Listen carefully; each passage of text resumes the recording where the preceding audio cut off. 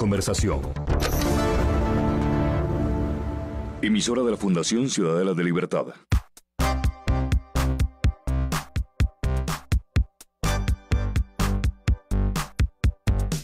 Es la hora de conversar objetivamente las diferencias, intereses y hábitos cotidianos de la vida en pareja, con la ayuda, guía y aporte de profesionales en la materia.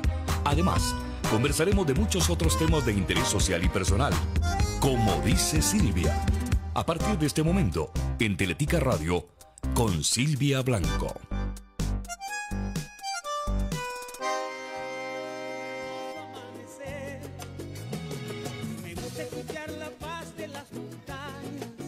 Hola, hola, ¿cómo están? Buenas tardes y bienvenidos. Son las 4 y 31 de la tarde y empezamos, como dice Silvia, eh, empezamos semana y bueno, y, de manera increíble, de verdad, me doy cuenta que ya estamos prácticamente a mediados, o sea, prácticamente por titas a mediados de noviembre. Pero bueno, muy, muy feliz porque la verdad que se siente ya como, si bien es cierto, hoy llovió, por lo menos donde yo estaba, estaba lloviendo, eh, estamos comenzando a tener como esos atardeceres ya un poquito como acercándose a, lo que a lo que vendría a ser pues Navidad y un poquito de brisa, en fin, ya ya sentimos, ya sentimos. Y en mi casa ya está totalmente decorada de Navidad yo voy a traer aquí un arbolito y una cosita, una bolita o algo para poner aquí en la mesa cuando tenga el programa, porque yo amo la Navidad. Entonces, bueno, eh, cuéntenme por dónde andan. Me imagino que algunos estarán en la carretera eh, y en empresas o, en fin, dirigiéndose hacia algún lugar. Este, otros vendrán en el bus. Eh, otros estarán en la casita, otros estarán en la oficina, en fin, donde ustedes se encuentren bienvenidos a estos 55 minutos de Como dice Silvia, en donde vamos a compartir un tema para empezar semana con Andrea Gutiérrez Guardiola, que es este mi eh, profesional invitada, amiga de nuestro espacio. Eh, vamos a hablar sobre un tema de crecimiento en la pareja, diría yo, pero, pero no solamente en la pareja, sino en la persona eh, individual. El tema que, que le puse, el título que le puse es El amor no basta. ¿Qué significa el amor no basta? Bueno, el amor es maravilloso. O sea, Andrea y yo hemos hablado muchísimo, muchísimo sobre este maravilloso eh, sentimiento, emoción, eh, compromiso que sentimos por, por alguien. Pero solamente eso como amor eh, dentro de la pareja no es suficiente. Necesitamos otras cosas aparte del amor. ¿Cuántas personas tenemos a alguien conocido que dicen es que yo amo a tal persona o me siento, eh, o sea, tengo un inmenso cariño, pero esto y esto y esto y esto y esta persona no entiende, no cede, no hacemos acuerdos, eh, no hacemos muchas cosas. Entonces, solamente el amor como tal es esencial, es un ingrediente maravilloso, pero no basta para que una relación sea exitosa. Entonces le damos la bienvenida a Andreita. ¿Cómo estás? Ay, hola, hola, muy buenas tardes a todos, muy feliz de estar aquí. Y este tema me encanta, vos sabes, porque hoy de alguna forma con lo que hablamos, con lo que hemos hablado, lo que estamos haciendo todo el tiempo es ofreciendo un abanico de opciones a diferentes posibilidades para, desde una postura en la que vamos a desarrollar este tema, sumarle a creencias que nos impulsen y nos motiven para que podamos tener de verdad una buena relación de pareja. Sí se puede tener relaciones interpersonales incluso sanas y saludables. Lo que tenemos que tener es claro es dónde ponemos toda nuestra atención y a quién le estamos apostando o a qué le estamos apostando y sobre todo es cuáles son nuestras expectativas versus nuestra idea eh, mental o, la, o lo que nosotros realmente hemos construido como un ideal. Sí, tenemos el 8901-4747, que ese es el teléfono de WhatsApp, para mensajitos por WhatsApp 8901-4747. Yo le sugiero que lo ponga en sus contactos y que le ponga, eh, como dice Silvia, y así entonces ya está conectado, más fácil que nos envíen en cualquier momento algún comentario, pregunta o simplemente a saludar, que me encanta que me saluden. Esa es una posibilidad. Tenemos también el Facebook Live, donde estamos eh, en este momento en la página de, como dice Silvia, y en Teletica Radio. Eh, con el Facebook Live. Y también estamos en 7.2 televisión digital para las personas que nos quieran ver así el tamaño de su televisor, a ese tamaño nos ven. así que son muchísimas las maneras de poder este, disfrutarnos. También después de que termine el programa, si ustedes escuchan algo y dicen, híjole, esto lo habrá escuchado fulanito o fulanita, pueden también este, darles el link eh, para que sigan eh, de manera en las páginas puedan volver otra vez a revivir el Facebook Live o bien vayan a la lista de reproducción de como dice Silvia en YouTube y pueden ver cualquiera de los 400 casi 70 programas que tenemos hasta el día de hoy. Ok, Andrea. Ahora sí. Muy bien. Empecemos. Démosle. Por supuesto que desde una parte romántica en nosotros queremos creer que el amor todo lo puede, que es sacrificio, que, que el amor todo lo aguanta y que basta con el hecho de que digamos yo puedo por los dos porque mi amor es eh, lo suficientemente grande, este, que, que, creemos en esta premisa de que el amor sí basta, no al contrario. Sin embargo, queremos creerlo porque desde una postura codependiente lo hemos escuchado todo el tiempo. Yo puedo por los dos y voy a luchar por los dos y vamos a llegar a un entendimiento por los dos. Lo cierto y es si nos amamos todo se puede, todo se logra porque somos capaces Porque el amor todo lo puede. Y, y, lo cierto es que hay un conjunto de cosas importantes o elementos que influyen y que pueden convertir al amor en ese recurso inagotable que, que, que, que de alguna forma se puede ver muchas veces afectado cuando se atraviesan diferentes situaciones o crisis. Eh, yo siempre les digo cuando trabajo con las parejas que en nuestra cultura muchos de nosotros idealizamos, por no decir que todos, el concepto del amor y lo vemos realmente como algo maravilloso, noble, divino, encantador, que se convierte en ese sentimiento en el que vamos caminando sobre miel sobre hojuelas sí. y que de alguna forma este, nos sirve para resolver todos los problemas de nuestra vida. Sin embargo, las películas o historias que Como si fuera un ingrediente mágico. Exacto, porque muchas de las historias y de las películas que nosotros vemos eh, y de las que nos alimentamos, el objetivo final es conseguir el amor. Todos queremos ser amados y todos queremos amar. Desde que nacemos, esa es una de las consignas en las que vamos enfrentando la vida y vamos luchando con respecto a ella. Sin embargo, hay que entender que cuando idealizamos el amor, lo sobrevaloramos. Y esto es muy importante porque para mí, eh, a veces cuando hemos venido a hablar sobre autoestima y amor propio, yo te digo que el amor es una fuerza. Claro, es una fuerza que se impulsa, es una fuerza que motiva, que nos convierte en un andamio estructural este, donde podemos pararnos. Sin embargo, cuando lo sobrevaloramos, lo que estamos haciendo es pagando un precio muy alto por con las decepciones que tenemos, con las vicisitudes mismas que vamos teniendo. Entonces, cuando nosotros creemos que lo único que nosotros necesitamos en una relación de pareja es el amor, estamos obviando todo lo que construye una relación.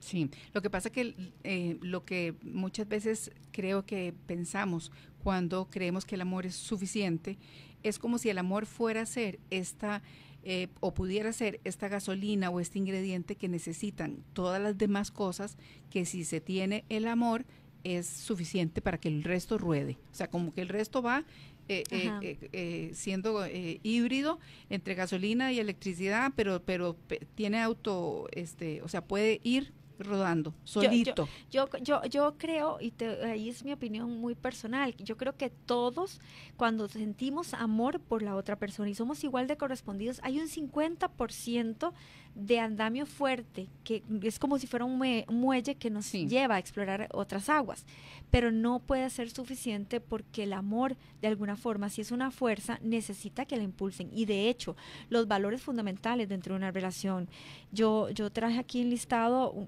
para no perder ninguno, por lo menos los 13 componentes para mí que funcionan y que alimentan más bien al amor. El resultado de que estas 13 cosas funcionen bien ah, hacen que crezca el amor, porque el amor primario es el del enamoramiento, donde yo siento esa química importante sobre la otra persona y hace que me, se despierte mi interés por la otra. Sí. Y por eso es que el enamoramiento dura de cero a dos años, más o menos. porque como seis meses promedio, seis, ocho meses. Sí, puede ser, eh, sí, yo, yo creo que entre los seis y los ocho. Sí. ¿Por qué? Porque obviamente hay algo químico, hay algo mental y hay algo emocional. Pero después del enamoramiento, que yo siempre digo que el enamoramiento es esa inocencia tonta, entra el amor inteligente. Ese amor inteligente que hace preguntas inteligentes, que sabe hacia dónde va, que sabe lo que quiere. Pero los elementos importantes que el, que el amor en sí eh, ofrece como un resultado, tienen mucho que ver con elementos que están ligados a nuestro amor propio. Por eso bien lo decías, cuando esto nos sirve para poder relacionarnos con otros, sean pareja o no. Pero ahorita como estamos enfocando en relación de pareja, pues por supuesto, una comunicación saludable, un manejo adecuado de emociones, el saber manejar y respetar nuestras diferencias, por ejemplo abastecer lo que nosotros hemos trabajado aquí muchas veces, que es el tanque emocional, ¿verdad? Que son estos lenguajes del amor, el contacto físico, las palabras de afirmación, este, los actos de servicio, eh, los símbolos los regalos eh, son y el tiempo obviamente de calidad van alimentando de alguna manera este andamio que llamamos amor. Cuando una pareja vive una situación difícil y no tiene su tanque emocional este, lo suficientemente lleno, han pasado por problemas de comunicación, donde no saben manejar sus emociones, donde eh, respetar las diferencias se ha vuelto más bien una lucha por hacerte igual de lo que yo pienso, lo que yo creo demás, el, el amor entra en modo invernadero. Y hay personas que en las sesiones eh, de pareja te dicen, es que yo no sé si lo que yo siento es amor por la otra persona. Y la otra persona escucha y dice, eso significa que entonces ya no me amas. Y eso no necesariamente es verdad. Es que muchas veces las relaciones o los conflictos poco, digamos, resueltos de una manera saludable, generan agotamiento en la relación. y cuando entra en agotamiento, para mí, el modo invernadero del amor, lo que hace es que entonces simplemente dé como para coexistir pero no lo sostiene, no sostiene la relación. Y con esto no estamos diciendo que el amor no sea un ingrediente vital. O sea, si, si, si, pusiéramos en porcentajes, digamos, eh, porque alguien te puede decir, bueno, pero es que si no hay amor al 100%, ¿verdad? O sea, ese amor entregado, el resto no podría darse. El resto eh, no, no, existiría. Lo que pasa es que aquí lo que estamos diciendo es que sí, el amor es importante y es vital y es un ingrediente importante. Pero si solamente el amor no tiene estas otras, este, ¿cómo le podemos llamar? Estas otros valores o estas otras... Eh, eh, Para mí son, eh, son elementos, son elementos que se convierten en una acción, en una filosofía de vida, en un estilo. Yo siempre he dicho que las parejas son un proyecto de vida compartido y tenemos derecho a ser diferentes y a modificar nuestros proyectos diferentes etapas en la vida. El problema es que si vos me preguntas a mí si pudiéramos ponerle un porcentaje, yo diría del 1 al 10, siendo 5 el amor. Pero acordémonos que el amor por sí solo, como lo decía anteriormente, si se fatiga porque me siento decepcionado, porque me siento triste, porque no tengo mi tanque emocional, no puede ser suficiente para resolver las cosas. Porque la parte romántica en la que hemos idealizado el concepto del amor es que el amor todo lo puede. Pero ¿qué pasa cuando no es en igual condición o no hay balance? Porque el amor sano y saludable, claro que sí, todo lo soporta, mientras haya un, uno de vuelta. exacto. Porque si no, entonces simplemente yo soy el, la que está dando, la que está dando, por un sacrificio en nombre de no sé qué, que llamamos amor, pero no lo es, porque hay un, un, un, problema de autoestima. Finalmente, el amor de pareja tiene mucho que ver con nuestro amor propio, ¿sí? Cuando nosotros mismos transgredimos nuestra dignidad, afectamos nuestra, digamos, nuestro, quiénes somos, nuestro estilo para complacer al otro, nuestro amor tiene que verse fatigado también, no solamente entrar en modo invernadero, sino que empiezo a desconectarme de mí. Entonces, cuando la frase que... Y desconectarme del otro. Exacto, la frase de ya no siento nada es porque de alguna forma también estoy dejando de sentir algo también por mí, que es el respeto. Los valores son los que sostienen una relación. yo, yo creo que la, la, empatía, la comunicación sana, la amigabilidad, la gentileza, el respeto, la confianza, la cotidianidad saludable, la dinámica de nuestras relaciones interpersonales, obviamente, este, hacen que una relación funcione y alimentan todos los días el pozo infinito de amor. El tema es que cuando nosotros le dejamos la tarea a que la relación sea exitosa por el mucho amor que te tengo o por el mucho amor que me tenés que tener, no estamos viendo entonces toda la relación es que lo responsabilizamos. O sea responsabilizamos eh, eh, a este ingrediente vital como digo o sea es importante pero si el pensamiento es ese si hay amor todo se puede si hay amor todo lo, todo se va a arreglar. Porque el amor si vos decís esa frase el amor todo lo puede sí siempre y cuando, ¿ves? Yo le agregaría, siempre y cuando sea un amor inteligente, bajo condiciones y acuerdos que sean saludables, con el, la asertividad al manejo de los miedos, los mandamientos que tiene que tener una relación, el tiempo individual de cada quien, el tiempo de crecimiento personal y de pareja, la admiración y el cariño la química, un buen sexo o una buena sexualidad. O sea, y además, obviamente, valores como la fidelidad que hacen que la persona se sienta prioridad de la vida de la otra persona. Nosotros podemos demostrar el amor así, eso sí, con el respeto, con la confianza, con la empatía, con buena comunicación, con todos los elementos que yo te acabo de mencionar. Así demostramos el amor. Mantenemos el tanque emocional cuando estamos alimentando con el contacto físico, con los actos de servicio, te lo decía anteriormente, con la calidad de tiempo, cuando yo hago sentir a mi pareja prioridad, por supuesto que estoy alimentando el amor. El tema es que hay muchas personas que creen que el amor es como ese pozo infinito donde se abastece solito y que, de, que, que, que, el maná viene, ¿verdad? No cae del cielo, que viene del suelo y que él tiene que tener eh, la forma de irrigarse constantemente. Y lo no, cual no es cierto. Incluso te voy a decir una cosa, también muchas de las relaciones de pareja hablan, la calidad y el éxito de una relación de pareja también hablan de la calidad y el éxito que yo tenga conmigo mismo, viviendo conmigo. A mí este término del tanque emocional eh, que tanto eh, utilizamos en, en, diferentes temas. Me encanta, pero me gustaría inclusive que, que lo, que lo aclararas un poquito, porque sí. sí, es muy importante entender eh, lo que es el tanque emocional, y de manera sana y saludable en una relación tiene que existir un tanque emocional llenito. Sí, y a mí me gusta hacerla, y a mí me gusta hacer la metáfora como si fuera una cuenta de ahorros.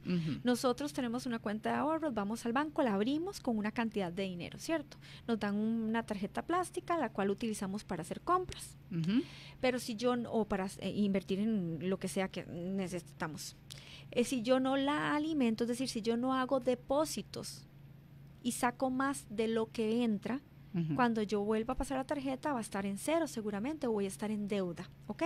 Lo mismo pasa cuando las personas se relacionan entre sí, porque el tanque emocional no solamente se da en temas de pareja, sino también en relaciones entre amigos, entre madre e hijo, entre hermanos. Nosotros nos relacionamos energética y emocionalmente, es decir, que yo con mis actos, con mi forma de ser, con todo mi pensamiento y mis creencias, amo a la otra persona y con, mis, acciones. y con mis acciones, por supuesto.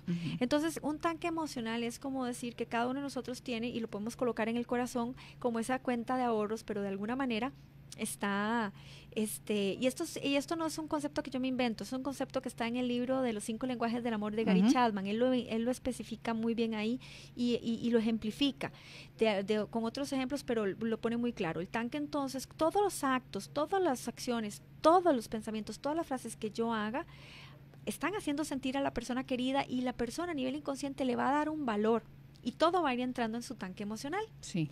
En el momento en que algo no esté bien dentro de la relación, yo solita me voy a mi tanque emocional a ver y abastecerme para poder entonces salir adelante con la situación. Tengo un respaldo para poder en una situación complicada, difícil, eh, llámese discusión, situación económica, decepción. lo que sea, yo tengo un tanquecito que me va a dar como el colchoncito para poder sobrellevar esa situación. Y además no solamente sobrellevarla, sino buscar puntos de resolución. Exacto. Y tercero, seguir adelante. Verte con buenos ojos, amarte, quererte y seguirlo haciendo. Versus no hay nada en el tanque. Exacto. Entonces, ¿cómo sería? Entonces hay muchas relaciones donde solamente reciben, reciben, nunca dan nada, decepcionan constantemente, no son su palabra, no saben amar a través del contacto físico, ni las palabras de afirmación, ni los actos de servicio, eh, ni a través de los símbolos, ni, ni obviamente en el tiempo de calidad, no lo ofrecen. Entonces la persona empieza a poner ahí es donde más allá de lo que le toca para tratar de mantener un equilibrio y un balance.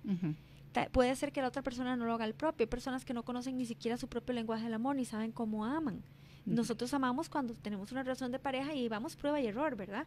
Hacemos lo mejor que podemos con todos los recursos, pero también tenemos la conciencia, porque si queremos una relación de pareja, pues vayámonos al principio del enamoramiento.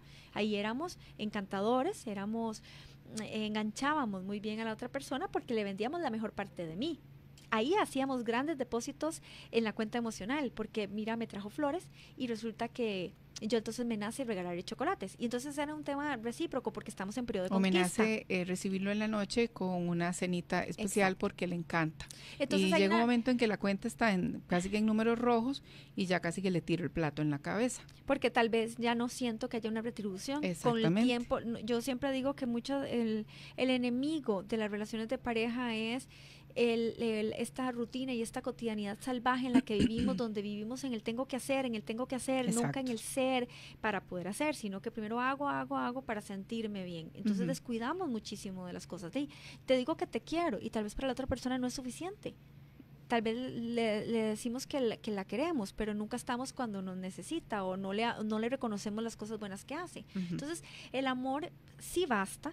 Si yo tengo todos estos elementos que yo acabo de mencionar, de alguna forma, constantemente revisados. Porque todo esto que te acabo de decir... frase que dice, obras, ¿cómo es que dice? Obras son acciones... Ay, ¿cómo es? no lo sé. Alguien que me la sople. Algo así como, sí, obras son acciones y no malos... Ya. Ay, no sé, pero bueno, es alguien que me la sople. Entonces, si yo si yo realmente hago sentir a mi pareja prioridad, si yo fomento la admiración y el cariño, si yo sé manejar este los momentos difíciles, sobre todo los míos, porque no puedo controlar los momentos difíciles de mi pareja. Claro. Este, hay mandamientos claros, acuerdos, eh, hay una química, hay una valentía, porque tener un conflicto y resolverlo también requiere de, ser valiente, ceder para ganar. El amor, claro que va a bastar, porque se va a estar reinventando constantemente y vamos contribuyendo a que las diferentes situaciones más bien tengan solución. Pero si yo solamente le apuesto al ya te conquisté, ya te dije que te amaba, pero ¿para qué quieres que yo te diga que estás bien si ya te lo dije? Ya lo dije. Eh, gracias por hacer lo que te toca. O ay, no sé, eso era antes, cuando éramos novios, ir al cine, ahora mira, no, no, hay tiempo para eso, estoy muy cansado. O el tema de la sexualidad, que hay muchas personas que cuando se pelean se, se castigan, a través del sexo. Entonces, esas elecciones que son diarias, porque es nuestra elección amar y que se nos note como no amar y que también se nos note, pueden hacer que el amor o se deteriore y no baste, o más bien sea un pozo infinito del cual estemos constantemente retroalimentándonos. Pero generalmente elegimos en la dinámica de la cotidiano, de la costumbre, de la rutina. Y ojo ahí, yo no tengo problemas con las rutinas. Creo que el ser humano... No, se necesitan. es parte inclusive, creo que hasta de la estabilidad o seguridad de, mm, de las personas, sentir la, ciertas la, sostiene, sí, la sostiene. El tema es que hay rutinas que son para envejecer todos los días y amargarse, o para sentirnos regenerados, rejuvenecidos, felices y contentos. Y no todo tiene que ver con temas de dinero. Sí, no, no, no, a veces encontramos muchas excusas en no tengo tiempo, no tengo dinero, eh, no, ya ni me gusta o no creo que me guste. Entonces estamos haciendo, pues, no estamos siendo honestos ahí. Aquí lo que es importante nada más eh, con respecto al tanque emocional, yo debo preguntarme, ¿cuál es, dónde está en mi cuerpo físico el tanquecito emocional? Eh, si, es, si es en la pancita donde lo sentimos o en el corazón o en la mente cuando recordamos las cosas bonitas que hace nuestra pareja por nosotros. O sea, ¿cómo, cómo, hago que este tanque, eh, en dónde es que tiene eco? ¿Dónde es que y segundo, ¿qué hago yo para alimentar el tanque emocional de mi pareja? Porque no solamente son los actos rutinarios que, le, que hacen, ¿cómo estuvo tu día? Porque hay que hablar de algo, eh, sino que realmente es que la otra persona se le note que, que a través de, de estos lenguajes, por ejemplo, que yo mencioné anteriormente, sobre el contacto físico, sobre las palabras de afirmación, etcétera, la persona sienta que hay un interés todavía. Y ese es el desafío de las relaciones. Muchas relaciones después de dos años entran en espacios donde hay zonas de confort que no necesariamente son confortables, sino que al tener esta rutina de automático sobrevivencia total, Sí, es lo que te iba a decir, ni siquiera es de convivencia, es de sobrevivencia. Entonces es triste porque cuando nos damos cuenta es hay vacío, tenemos más conflictos y vemos cosas que antes no veíamos con las de las otras personas. Entonces, no es justo que también al amor, que es una gran fuerza, la castiguemos diciéndole que ella tiene que que el amor tiene que poder y que esa fuerza me tiene que impulsar si yo no estoy haciendo nada tampoco para sostenerlo y para alimentarlo. Hay hay algo que se comienza a dar en en las relaciones de pareja que eh, va de la mano de, diferentes áreas, eh, que son las decepciones o las desilusiones. Eh, comienzan a ser como poquitas, pero, pero suman, porque nunca se resuelven. me decepcionaste o me desilusioné desde mi perspectiva. Puede ser que si lo hablamos, que si la pareja llega a una comunicación en donde yo te digo lo que yo siento o lo que a mí me hace sentir X cosa que esté sucediendo, eh, no, ya no es una desilusión, sino que es un tema que podemos conversar y podemos sobrepasarlo y no sumarlo a esta cuenta de, de, desilusiones y decepciones. Sí, yo, Porque también hay mucha expectativa, siento yo, en, en, en, las parejas. Y cuando hemos hablado de expectativas, siempre eh, como que la palabrita expectativa es algo que, que hace que yo mucho... espero, ajá, yo espero que suceda y tal vez la otra persona ni siquiera sabe qué es lo que Eh, yo es- espero. exactamente. Y expectativas positivas es cuando yo realmente, como quiero que algo salga bien, voy a contribuir para que eso que yo quiero que salga Ajá. bien, voy a manifestarlo, voy a generarlo, voy a plantearlo, voy a crearlo. Cuando nosotros, eh, eso que vos decís es muy importante porque creo que una de las cosas que afecta muchísimo al amor y lo agota es la mala comunicación que Sí. existe en las relaciones de pareja. Hemos hablado infinitas veces sobre el tema y es que es inagotable porque lo que todo ser humano necesita es saber expresarse, pero primero tiene que saber sentirse. No sabe ni siquiera qué es lo que siente ni qué es lo que piensa y a veces es simplemente una bomba de frustración o de irritación que castiga a la otra persona. El amor, vos sabes que, que es un proceso emocional y la compatibilidad de una persona con la otra es un proceso que viene de un sentido lógico, Ujú. no cronológico. No son 20 años juntos que hace que ya nos entendamos súper bien, sino que es nuestro sentido de estar juntos, de observarnos y de e interesarnos por conocernos que hace que nos vaya bien. Por eso hay gente que tiene 20 años de que le va súper bien o tiene un mes y le va súper bien. Sí. No es un tema de, de los tiempos cronológicos, sino de este acercamiento emocional o este proceso que nos hace compatibles de entendernos y conocernos. Pero inclusive en ese, en ese proceso de, de conocernos y de, de- de poder entendernos, eh, se puede dar crecimientos. eh, a ver, yo soy una persona que evoluciona, mi pareja también, los dos tenemos eh, tal vez procesos diferentes. Eh, eso no quiere decir que no podamos seguir buscando nuevas estrategias, digamos, de, de comunicación entre nosotros, pero tiene que haber comunicación para poder saberlo sí. porque muchas veces se dan este estas situaciones en donde dis que nos amamos, dis que este nos elegimos para estar el resto de la vida, pero el crecimiento va tan disparejo, eh, uno hacia el norte, el otro hacia el sur, y cuando nos dimos cuenta es que estábamos en los polos opuestos porque nunca realmente tuvimos la comunicación para poder saber qué es lo que el otro estaba queriendo, pensando, sintiendo sobre cualquier situación. Si, si vos me preguntas a mí, yo creo que es el, el hecho de, de comunicarnos sana, saludablemente, saber cuándo puede ser eh, afectivo, cuándo puede ser asertivo y cuándo puede ser efectivo, es todo un estudio dentro de la dinámica de las relaciones de pareja. Eh, muchas de las parejas empiezan a distanciarse porque no saben discutir, porque también las parejas tienen que aprender a discutir, es natural tener diferencias. El, el no ser compatibles no, no equivale a que no estamos enamorados en muchas cosas. Hay una paradoja inconsciente, de hecho. Muchas veces nos enamoramos o nos enganchamos, perdón, de las semejanzas, pero nos enamoramos de las diferencias, Sí. porque eso es lo que nos atrae. Con el, claro, desde una postura codependiente es para cambiarlo y transformarlo y convertirlo en semejanza, pero desde Sí. un amor sano y saludable es wow, porque esta incompatibilidad nos hace compa- compatibles, perdón, porque somos muy diferentes. La comunicación muchas veces se ve afectada por mis propias quejas, por mis propias frustraciones, por mis Ujú, ujú. proyecciones. Yo siempre he dicho que detrás de una queja hay una petición razonable, solo que la persona no supo no sabe cómo, des- cómo expresar. y no supo cómo sentirla, porque también a veces es que no sé lo que me pasa. Y muchas veces tenemos la tendencia a castigar lo que más queremos o creemos que más nos quiere porque tenemos la garantía de que nos va a perdonar. Por eso es que hay a veces confesiones muy fuertes que se hacen en una pareja y la otra persona no sabe qué hacer con esa información que le diste. O bien, eh, ante una queja o una, una discusión fuerte, esperamos a que la otra persona busque conciliar o resolver sin saber cómo va a hacerlo porque es que no vive adentro de mí, no Ujú. sabe. Nosotros somos, antes de ser seres que tienen una relación con el mundo, tenemos una relación la más importante que es con con nosotros, nosotros mismos. mismos, sí. Y a veces no Y somos a ni veces siquiera... ni siquiera lo- la entendemos, ni la conocemos, ni la podemos verbalizar. Y, y- y hay un libro bien bonito que se llama Enamórate de ti, que, que de alguna manera lo que trabaja es pura autoestima. Ujú. Y ese libro, cuando, cuando empezás a leerlo, te das cuenta que la clave de una, del éxito de una relación es la relación que yo tengo conmigo. Y si hay días que me caigo bien, entonces todo súper bien. Ujú, Y hay días en los que me caigo mal, todo súper mal. La- el chiste es cuántos días a la semana me caigo bien, cuántos días a la semana escondo lo que no me gusta a mí para no cambiarlo, para no modificarlo, porque qué pereza.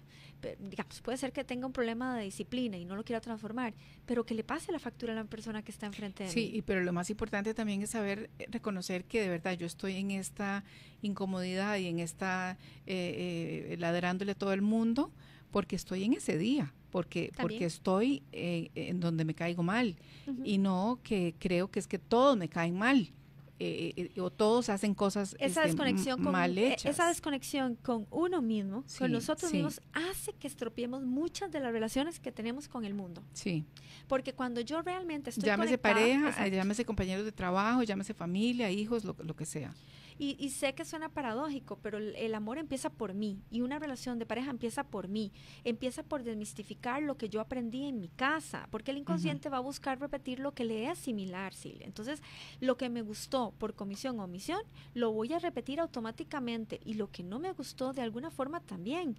¿Por qué? Porque de, mi referente mayor fue mi sistema familiar, el modelo del familiar que yo aprendo del que yo tengo. Hoy hablaba con, una amiga sobre, hablamos sobre las relaciones de pareja y me decía eh, que, los hijos pueden ser muy fuertes cuando se meten a opinar sobre las parejas. Es decir, que este me voy con mi papá, si usted se separa de, de mi papá, o me quedo con mi mamá, y entonces toman bandos porque los hijos son hijos, no pueden ver la, relación de pareja como tal. Entonces ahí hay que tener muchísimo cuidado cómo fuimos educados nosotros, cuál fue el modelo de aprendizaje que, de pareja que nosotros tuvimos. Pudimos haber sido solidarios con mamá por algo que vivió con papá, pero eran hombre y mujer, no mamá y papá. Entonces en nuestros esquemas mentales muchas veces están facturas incluso de nuestra infancia con temas importantes donde, por ejemplo, yo te decía, el amor entra en modo invernadero cuando vive agotado del mal manejo de emociones, cuando todos son gritos, cuando hay una, puntos de tolerancia muy bajos, y es que tal vez venimos de un hogar donde todo era gritos. Entonces, hay un cansancio, pero no sabemos cómo oxigenar o descansar. De ese cansancio. Vamos a hacer una pausa en este momento. Este, recuerden que estamos en vivo. En este momento son las 5.02 de la tarde y eh, pues estamos eh, en Facebook Live. Si las personas están con una computadora o con el celular, eh, pueden entrar a la página de Letica Radio y ahí van a ver el live de Como dice Silvia, aunque también pueden verlo en la página de Como dice Silvia o en la página pública de Silvia Blanco. Tenemos el 8901-4747 para que usted aproveche el corte comercial y nos envíe su pregunta, su comentario, su saludo. También estamos en 7.2 eh, televisión digital. Hacemos una pausa, estamos hablando, el amor no basta. Ya regresamos. Como dice Silvia, hacemos una pausa y ya regresamos. Hola, soy Yaritzai y quiero contarles que estoy aprendiendo matemáticas y ciencias gracias a la Fundación Ciudadelas de Libertad, una fundación en desamparados que existe gracias a don Samuel, un soñador que con su obra ha transformado la vida de muchas personas. Tenés que conocer lo que hacen en Fundación Ciudadelas de Libertad. Un mensaje de Fundación Ciudadelas de Libertad en colaboración de Copeande.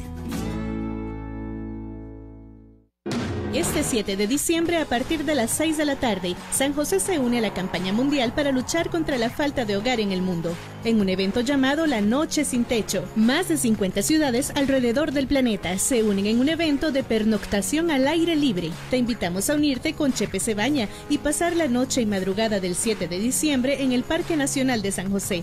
Ya te puedes inscribir desde la página de Facebook de Chepe Cebaña. La Noche sin Techo, Proconstrucción del dormibús para mujeres en situación de calle de la capital. Seguimos conversando, como dice Silvia, en los 915 FM de Teletica Radio. Bien, y ya estamos acá de regreso. Eh, Grinchito, ¿cómo me le va?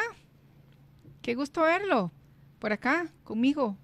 Muy buenas tardes, doña, Silvia. Muy, muy, muy, muy buenas tardes. Bien, gracias a Dios. Este, después de una semana muy llena de trabajo, ya estamos de nuevo. Sí, sí, empezando semana, ¿verdad? Empezando semana. Hola, Andreita. Hola, hola, ¿cómo estás? Bien, ¿y tú? Bien, lindo. Bien. Este, Grinchito, ¿usted, ¿usted qué cree? De, porque usted tiene siempre, usted es una persona de, de criterio, de opinión. ¿Qué cree usted del tema de que el amor no basta? Híjole. Véalo, véalo. es que me agarro así como... Pero bueno, vamos a ponerla de otra manera.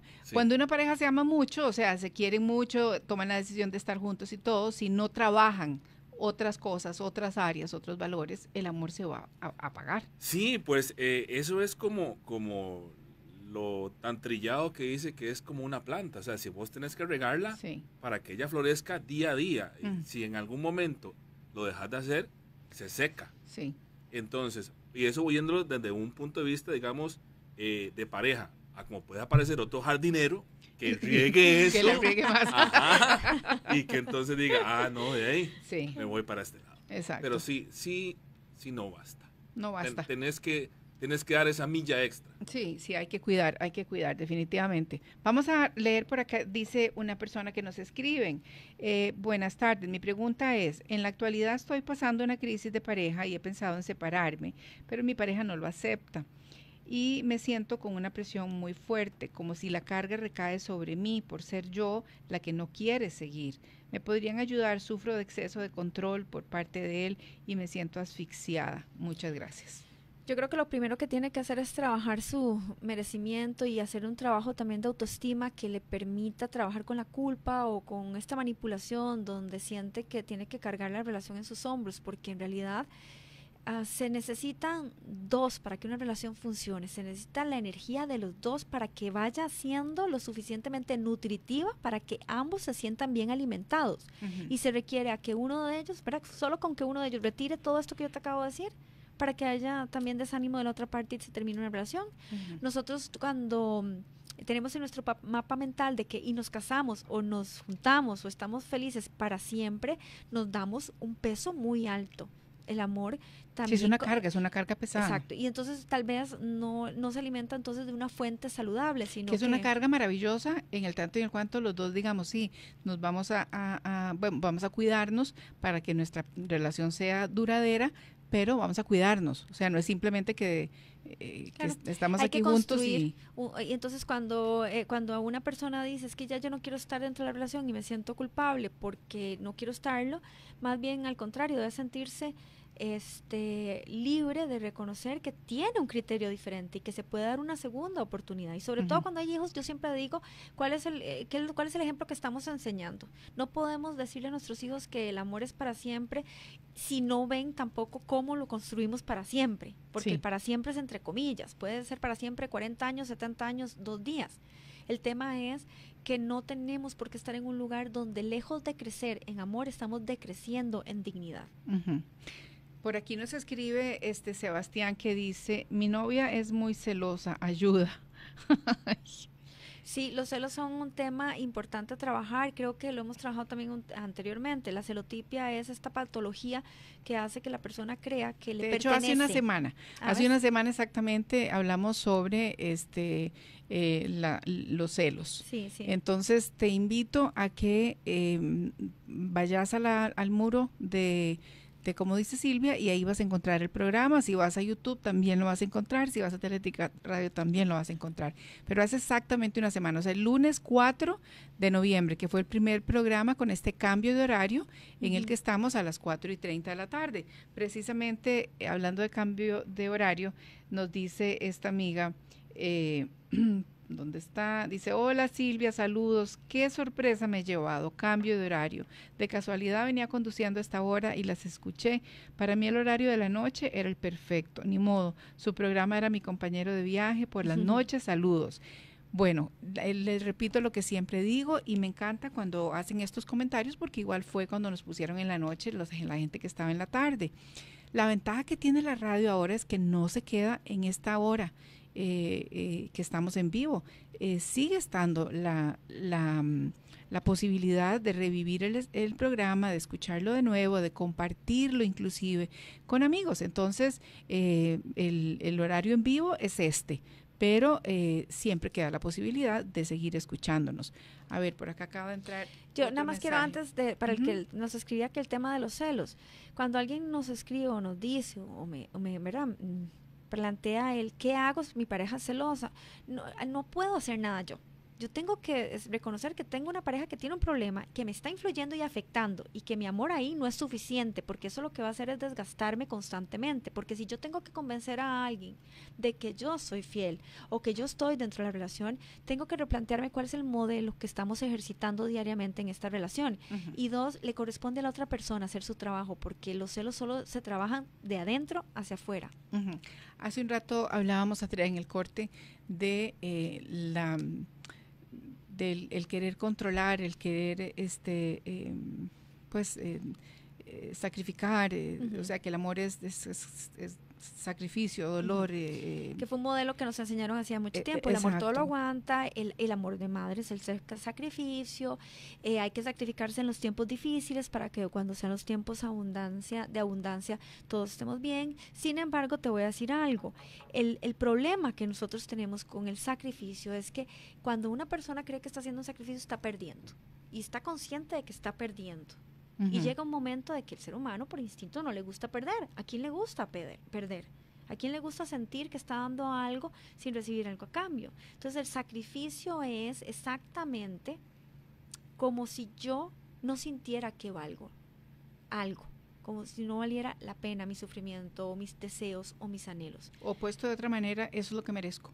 Y, ah, bueno, sí, y obviamente hay un desmerecimiento claramente porque el sacrificio es no tengo derecho entonces a cuestionar siquiera si yo puedo estar mejor sino que entonces el amor ahí por supuesto que no puede ser compatible porque la gente piensa que el amor es igual compatibilidad no es cierto yo te lo decía al principio o sea hay diferencias que nos encantan así sea de la codependencia para querer transformar al otro nos atrae y desde la salud pues nos parece interesante porque nos ayuda a crecer o nos apoya a crecer.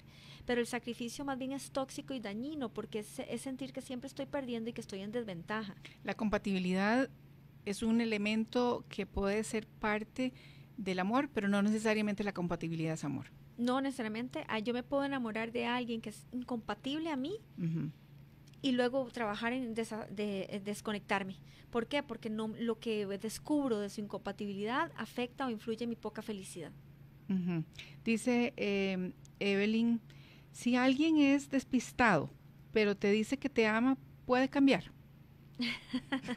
Ay, Evelyn, viera cómo me suena a mí esa, esa pregunta suya me, resuena. Yo no sé por qué, por algún lado me parece que me está, que podría ser yo la que estoy haciendo esa pregunta. ¿Qué significa despistado, verdad? ¿Qué significa despistado? alguien que se le olvida tu fecha de cumpleaños, alguien que no celebra un aniversario, alguien que, que dejó las flores en la oficina que te compró, o que quedó el chocolate en el carro y que con el calor se derritió. O sea, ¿qué es despistado? Porque hay niveles de despistamiento. Y hay personas... Tal vez, no sé, despistado en detalles, sí, despistado. Pero entonces ahí tenemos que estar muy claro de cuál es nuestro lenguaje primario de amor, porque si los símbolos de amor son mil lenguajes y la otra persona no tiene, digamos, conciencia... Estoy poniendo el amor en un lugar equivocado. Pues sí, y estoy buscando un compañero o una compañera donde no lo hay donde estoy buscando algo que me hace sentirme frustrado o frustrada todo el tiempo. Ahora, ser despistado no es lo mismo a ser agresivo o pasivo, ¿verdad? A esa persona que no te contesta un te quiero, que no cuida la relación con sus acciones, como lo decíamos anteriormente, y que no demuestra eh, ningún interés por llenar el tanquecito emocional, porque hay personas que pueden compensar el ser despistados o dispersos con otras acciones. Por acá tenemos, a ver, dice eh, Buenas tardes, señoras. Necesito de su ayuda u opinión sobre qué hacer. Mi esposa por todo se queja y nada le gusta. Si me levanto y hago desayuno, hace gallo pinto y cuando se lo come se queja que le falta sal. Si le ayudo a doblar ropa y no le cabe donde va, que por qué seguimos donde vivimos y que no tenemos casa por mi culpa. Así es, siempre nada lo que haga es suficiente. Creo que el problema no está solamente en la pareja como tal, sino en la persona que se queja. La queja es un virus que infecta todo lo que y contamina todo lo que está alrededor. Una persona que no ve el punto blanco, sino que busca el punto eh, de pimienta para quejarse, es una persona que le falta conectarse con su propia felicidad y con sus ambiciones y con su entusiasmo y con su motivación. Entonces es muy desgastante estar con alguien que solamente se queja, que solamente pone mm. su mirada en lo negativo, porque que dé y eso nos afecta o nos influye. Yo creo que hay que aprender a ponerle límites a esas cosas. Es decir, si la persona se queja porque le falta sal, hay que expresar cómo, cómo, cómo, cómo la persona se siente y cómo eso influye en las ganas de querer cocinar. Porque, ¿verdad? Drásticamente yo tendría que decirle a la persona que, que estamos haciendo, alimentando constantemente una, un pozo que no se llena nunca, no importa lo que hagamos, porque aquí hay una insatisfacción que es personal, no podemos hacer nada por la otra persona. Dice, yo pasé por eso, tuve que divorciarme, cuesta retomar cosas que se van perdiendo después de 30 años de matrimonio. Creo que el camino se va distanciando y de pronto nos vemos como dos caminos que se van en paralelo, pero no de la mano, no del brazo, no hombro con hombro. Conste, no dejo de creer en el matrimonio. Tengo tres hermosos hijos, hermosos de esa relación. Y ve qué lindo porque eso quiero sumarle que el amor no resuelve los problemas en la relación. El amor puede darnos el camino o, pavimentarnos la calle para resolver nuestras diferencias, pero no por sí solo el amor no lo resuelve, porque el amor puede hacernos solamente sentir bien acerca de, de algo. Es decir, que hoy peleamos, tuvimos una gran diferencia y nos reconciliamos mañana. Y todavía se nos olvidó por qué discutimos, pero el problema es cíclico y regresa. Entonces aquí es muy importante esto. Desde mi percepción profesional, el amor no resuelve entonces la reconciliación es lo que les da esa adrenalina dentro de la relación. Entonces inconscientemente y conscientemente algunos buscan conflictos para poder vivir la adrenalina que se siente en la reconciliación. Pero entonces ahí es donde yo te digo que la teoría mía de que el amor no resuelve el problema, de ahí se manifiesta, porque si peleamos exactamente por lo mismo, el amor no es suficiente para poder corregir lo que hay que corregir, porque entonces ahí es donde entran los valores, el pensamiento y la mente inteligente para resolver exactamente lo que generó el conflicto. ¿Cómo se perdona una infidelidad que en realidad no se puede olvidar? Nos pregunta Scott. Bueno, primero hay que ser muy valientes y reconocer que nos dolió, que eso nos afectó. Es como si fuera un meteorito que cae sobre el suelo y crea un gran cráter. El trabajo empieza por la persona misma que vive la infidelidad a flor de piel y tiene que empezar a, hacer, a, reconocer que el camino del perdón hay que transitarlo, abrazar el dolor, encontrar amor dentro del dolor y replantearse nuevamente ¿verdad? Ciertas estructuras que se han perdido cuando hay una traición, porque hay que volver a los valores, hay que volver a conectar con la confianza, que es uno de los valores que se afectan con la infidelidad. Y hay que trabajar muchísimo con la, la certeza y la seguridad en uno mismo, porque eso también se ve afectado no solamente la otra persona, sino aquellos que se plantean y se preguntan cómo me pasó a mí si yo estaba tan metido en la relación o si yo era tan detallista o si yo era tan especial. Hay, hay que trabajar la autoestima. Cuando se vive en un cráter de este tipo hay que llenarlo con mucho amor, eso sí, pero es un amor propio y es una disposición y una decisión. Perdonar es una decisión.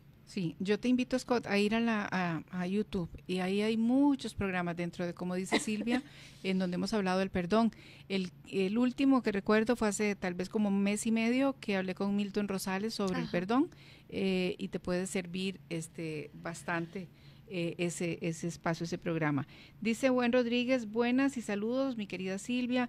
El amor no basta con sentirlo, hay que demostrarlo todos los días. Amar a alguien profundamente y no saber demostrarlo pone en situaciones muy particulares en la vida pretender que la otra persona prácticamente adivine o intuya nuestro amor hacia ella. Así es, y por eso es que el amor se vuelve un ejercicio. Yo siempre te digo que eso es en gerundio. Yo no puedo decir que yo amo si no estoy amando a través de mis acciones, de mis pensamientos y de mis emociones. La montaña rusa de las emociones o las que vivimos en esa montaña por diferentes cosas pueden ser eh, con adrenalina pura que nos embriaguen de alguna manera, ¿verdad? Y que nos lleven a tener diferentes formas de comportarnos. Lo cierto es que las emociones están en constante movimiento, entonces que se te note. Yo siempre digo que cuando, cuando realmente uno se ama, se cuida, cuando uno se cuida, se respeta, y cuando realmente se respeta, se le nota. Lo mismo en mi pareja. Yo debo hacer sentir a mi pareja prioridad. Cuando yo a mi pareja la hago sentir una prioridad en el buen sentido de la palabra, sin sacrificarme yo, sin restarme, yo estoy entonces alimentando el tanque emocional, estoy creando acuerdos constantemente, estoy respetando nuestros mandamientos, estoy alimentando los valores y estamos enfrentándonos a las diferentes situaciones con la premisa de que queremos estar juntos porque nos queremos y porque queremos querernos, no porque tenemos y es lo que nos tocó y es lo que hay. Vamos entonces a, ver, si el amor no basta, ¿verdad? Eh, entonces debe bastar, o no, no bastar, pero debe eh, condimentarse con otros elementos.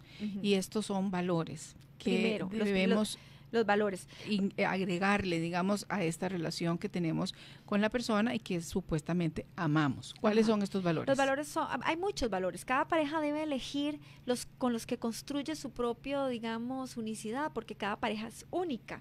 Pero muchísimo es la confianza, el respeto, la buena comunicación, la empatía, la amigabilidad, la gentileza tenemos que sumarle a esto el manejo asertivo de nuestras emociones, el poder expresarnos y, y, entonces es muy importante porque yo me expreso de una manera responsable van de la mano con los acuerdos, es decir, los sí y los no dentro de una relación, pero los valores se van transformando y se van cambiando. ¿Por qué? Porque la constancia, la disciplina, eh, la mirada abundante, nos ayuda y nos apoya muchísimo a fomentar que haya un vínculo sano y saludable a pesar del tiempo. Por eso yo te decía, no es el éxito de una relación de pareja no es por el tiempo cronológico, sino por sus procesos lógicos y cómo su sistema operativo funciona. Claro que cometemos faltas, claro que afectamos al otro con nuestros a nuestros actos o acciones o pensamientos o emociones, pero si nosotros realmente queremos tener una buena relación, se vale aprender a perdonar, se vale reencuadrar constantemente o replantearnos nuevos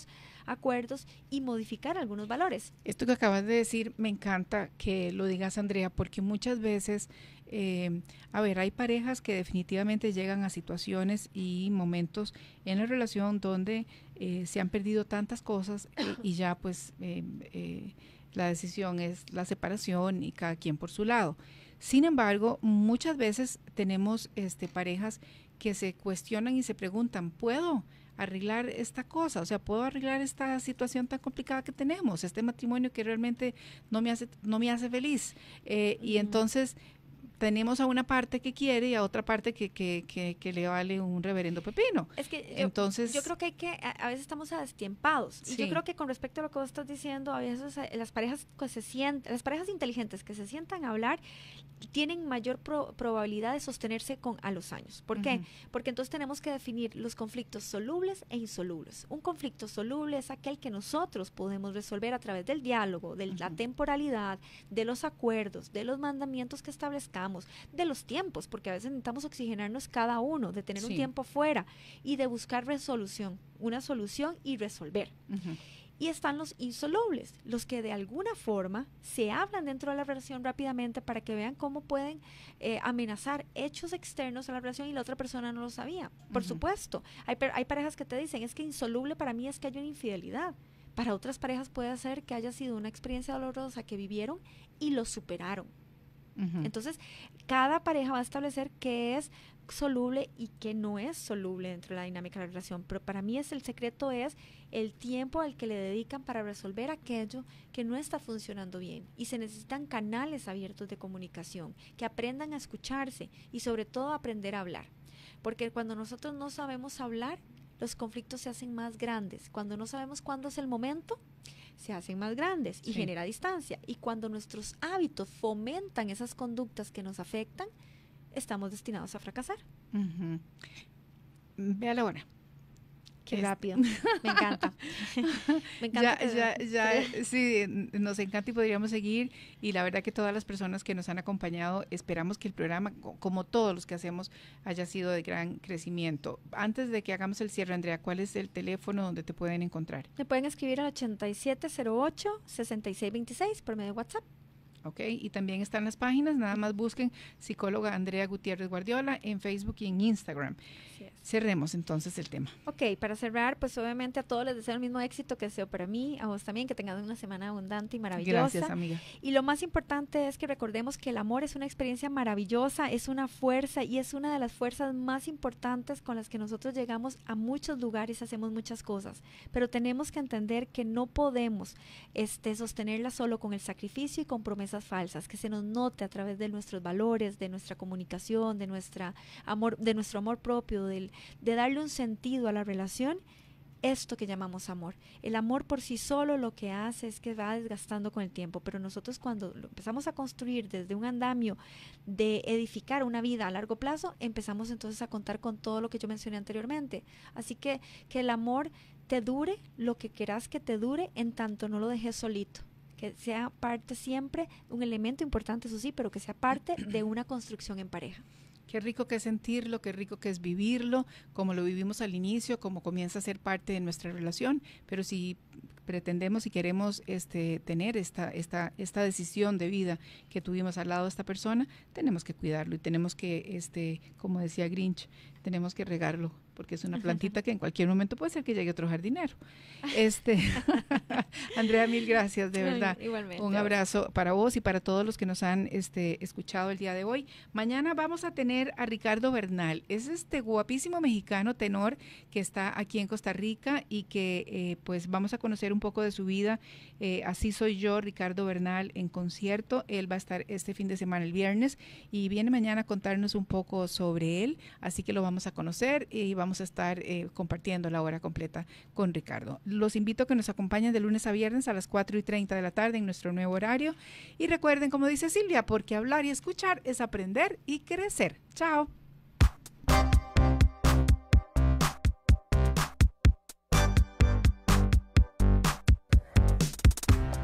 Educación sexual, amor, desamor, soledad los temas más importantes de la relación en pareja y la vida cotidiana, tratado de manera objetiva y profesional. De lunes a viernes a las 9 de la noche, como dice Silvia, por Teletica Radio 915 FM. Generamos conversación.